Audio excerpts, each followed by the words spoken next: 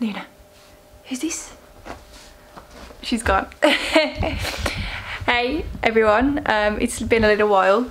I hope everyone's staying safe. Um, this video is a pretty short one because it's just, you know, um, just saying hello and making sure everyone knows I'm still here. Um, basically, I've been thinking about trying some visual astronomy um, for a while now. Sometimes it's nice just to be a little bit chill and just go out there and um, have a look with your own eyes rather than, you know, getting a camera out.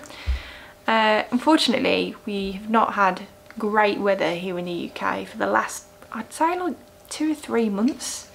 We've had barely any clear skies um, and the clear skies that we've actually have had, I've not been able to make it outside, which has been a bummer. But yeah, um, Svbony got in contact with me, it was a good couple of months ago now, and um, they sent me one of their eyepieces. And yeah, I feel like I, I really need to get out there and use it, but it's just, the weather's just been awful. So I thought I'd just do a quick little video about it and then I can fill you in when I've actually used it properly. So it comes in a nice box and you get like um, a cleaning cloth. This is the Svbony um, SV171 zoom eyepiece.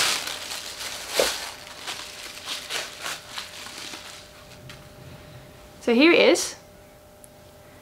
Nice hefty eyepiece. I haven't actually weighed it, but I will go do go do that in a little while, and I'll put it in the uh, description. And this one is then uh, the Svbony 8 to 24 mil zoom eyepiece FMC, which means full metal coated, I assume and that's just like the coating on the glass. So if I take the cap off, we've got like an eyepiece uh, sort of cup that you can extend. Um, that's more for people who don't wear glasses. For people with glasses, you kind of want it flat so that you can just like put it direct against your, your glasses there. And if I take the bottom cap off,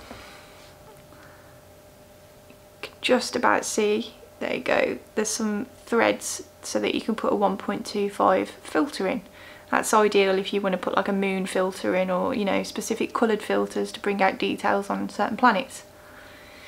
So I've not used a zoom eyepiece before and I just quickly looked up you know read about them. Some you know there's I think the Baader Hyperion zoom is quite a famous zoom eyepiece.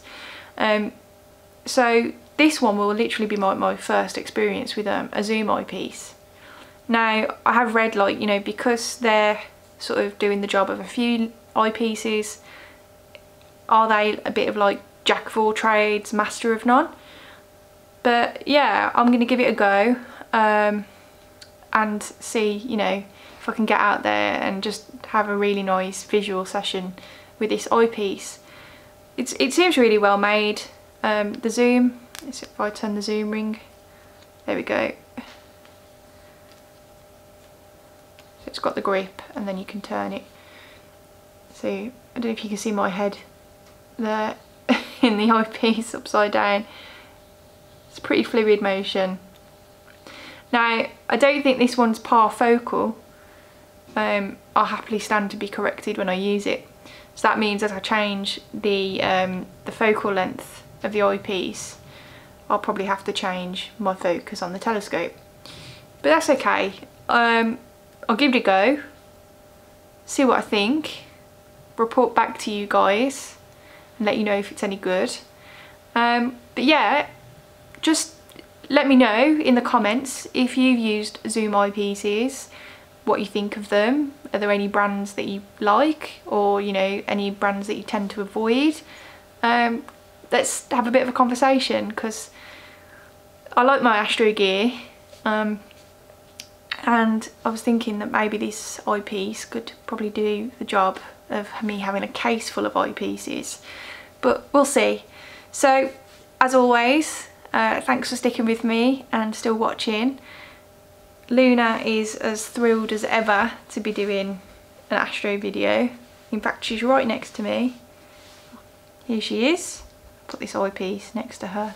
She's looking a bit puzzled. So here she is. you tired, Gil? Yeah? She's got a little Halloween bandana. so yeah, thanks for watching. Stay safe, guys, and I'll catch you on the next video.